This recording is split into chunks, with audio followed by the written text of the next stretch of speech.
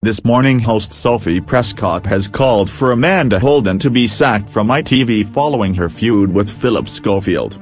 The 48-year-old recently reignited rumors that she'd fallen out with the popular presenter during a quick-fire question round on her Heart Radio breakfast show. Here the mother of two was asked what three things she didn't want to find in her house. Responding to the question, the Britain's Got Talent judge quipped, spiders, flies and Phillip Schofield. And it seems Sophie, who has appeared on the popular breakfast show 24 times, was not impressed by the comment. Chatting to the Mirror, the mother of one explained her views on the situation.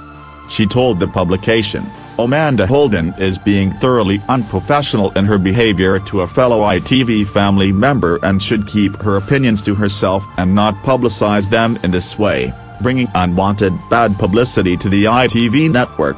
Whatever beef she is with Phillip should be dealt with behind closed doors.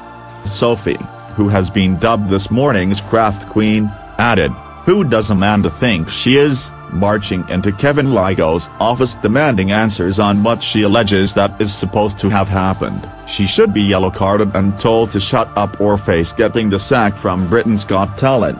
Amanda's jibe came just months after claims she was dropped from presenting This Morning with Phillip, at the regular host's request. An insider reportedly told The Sun, Phillip actively campaigned for Rochelle Humes to get the job despite Amanda being more experienced, and having been told privately she'd got the gig. She feels Phil unfairly used his powers of persuasion. They added, she was told he'd chosen Rochelle because she was easier to manage on air, and understandably that incensed her. Phil has since lamented the claims, without referencing them directly, hoping that his followers would know him better. The end of another really sad weekend, the 57-year-old wrote in a tweet.